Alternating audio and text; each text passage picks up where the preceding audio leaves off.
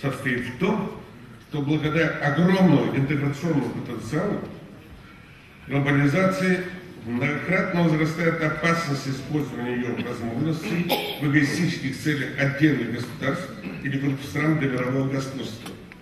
Об этом говорит появление новых системных угроз, стремление к однополярному пониманию мира. Принципы евразийской интеграции исходят из другой парадигмы развития.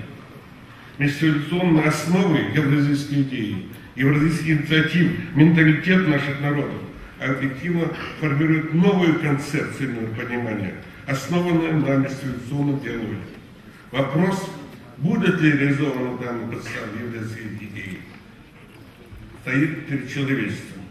Как нам представляется, один из ключевых факторов этого объединения – это объединение творческой интеллигенции на базе единства евразийской, евразийской культуры и евразийского образования.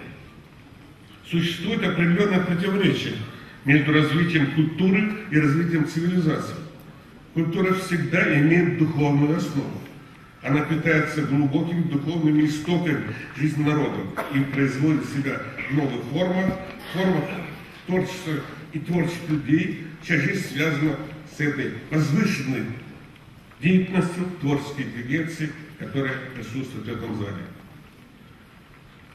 Цивилизационная эволюция, развитие цивилизации, хотя и базируется на культурной основе, однако имеет собственную логику.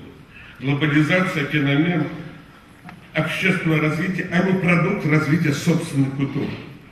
Глобализация бросает вызов основам многовековых устоев жизни народа и не может наступить противоречие с культурным наследием народа. В условиях новых грандиозных информационных возможностей сила одномерного глобального